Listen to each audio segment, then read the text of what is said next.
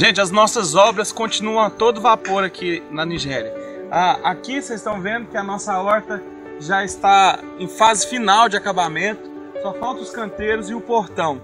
E vocês podem notar que a dificuldade aqui de recursos é muito grande. Aqui na, na margem da, da horta a gente teve que utilizar algumas pedras que estavam jogadas aqui. Tudo por conta de falta de recursos. Então a gente tem que improvisar muito. Mas mesmo com improviso, a nossa horta está ficando bonita, está ficando muito boa.